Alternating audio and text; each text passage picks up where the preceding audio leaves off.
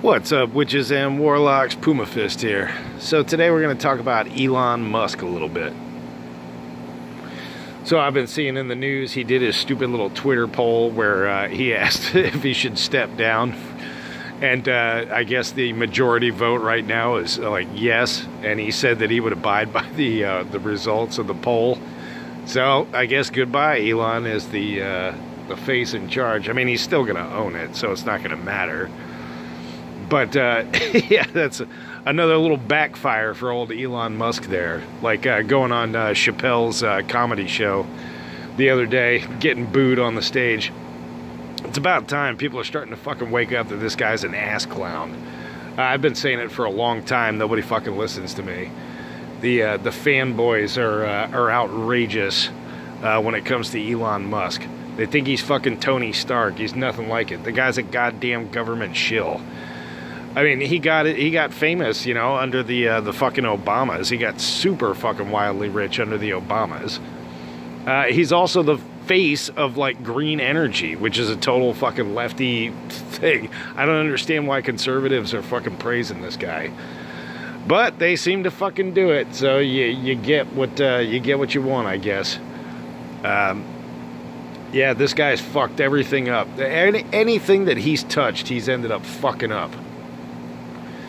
Uh, so I don't understand the uh, the mass the mass uh, admiration for this guy. Uh, yeah, he he just he's just a fucking putz, a putz who happens to be uh, fucking from a rich, wealthy family, and has the right connections.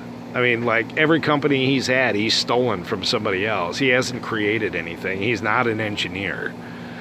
He's not even a fucking programmer. I mean, he fucked PayPal up so bad they had to bring other people in to fucking fix it. Yeah, that wasn't his deal. He was just a name on board. Yeah, this this whole thing. Fucking Elon Musk. People, people, people. How many times do I have to say it? Stop worshiping celebrities politicians and fucking public figures. These people aren't your friends. They're not doing anything out of the goodness of their heart. They're doing it to line their own pockets. Uh, you be damned. Uh, they could give a fuck less about you. If Elon Musk saw you on fire in the middle of the street, he would just keep walking. Uh, so don't give this guy any of your fucking time, your fucking attention. He's a piece of shit. Uh, he deserves he deserves getting fucking trampled in the polls right now. Uh, fuck him. So anyway, uh, that's all I've got for today. I said, sorry I've been uh, not making many videos, but uh, just been busy with work, so I'm trying to get back into the swing of things.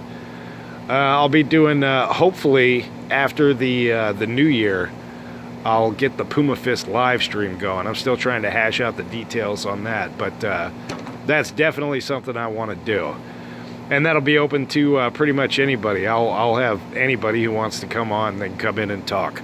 So, you know me, Mr. Free Speech. Uh, I'll allow it as long as YouTube doesn't fucking blow it up and fucking uh, shit can the stream. Uh, I'll allow it. So, anyway, that's all I got for today.